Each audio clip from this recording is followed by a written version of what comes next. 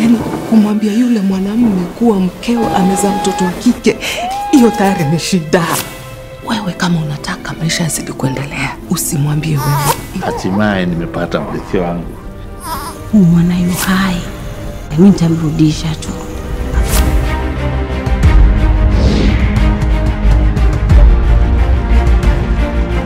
Sijui najisikiaje mimi nikisikia sauti ya JJ.